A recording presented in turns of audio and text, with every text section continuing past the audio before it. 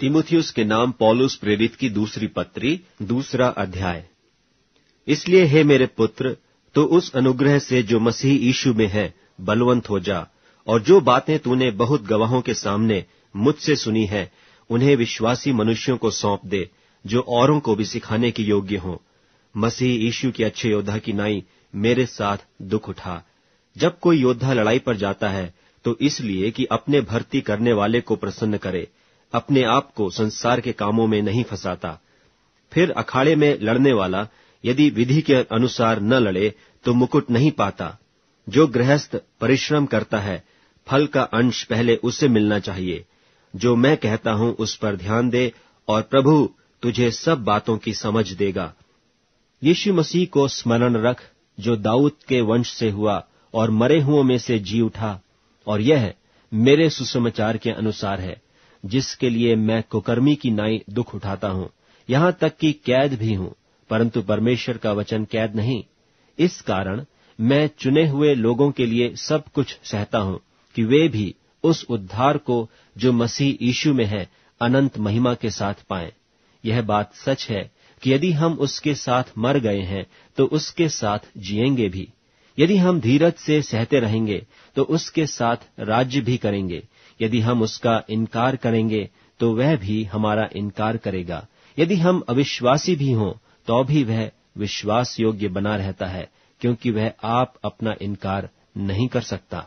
इन बातों की सुधि उन्हें दिला और प्रभु के सामने चिता दे कि शब्दों पर तर्क वितर्क न किया करें, जिनसे कुछ लाभ नहीं होता, वरन सुनने वाले बिगड़ जाते हैं।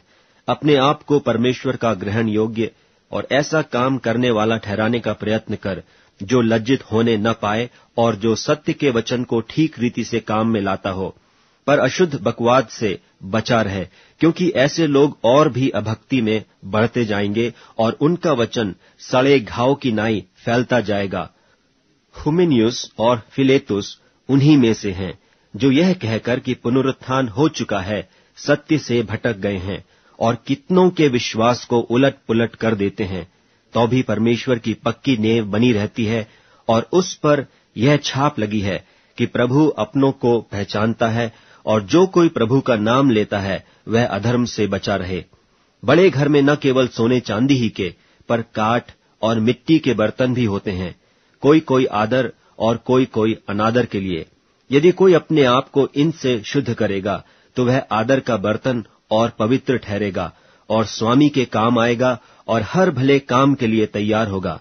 जवानी की अभिलाषाओं से भाग, और जो शुद्ध मन से प्रभु का नाम लेते हैं, उनके साथ धर्म और विश्वास, और प्रेम, और मेल मिलाप का पीछा कर।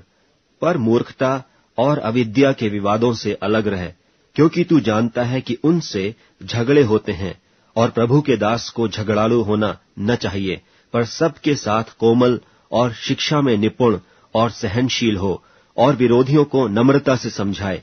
क्या जाने, परमेश्वर उन्हें मन फिराव का मन दे कि वे भी सत्य को पहचाने और इसके द्वारा उसकी इच्छा पूरी करने के लिए सचेत होकर शैतान के फंदे से छूट जाए।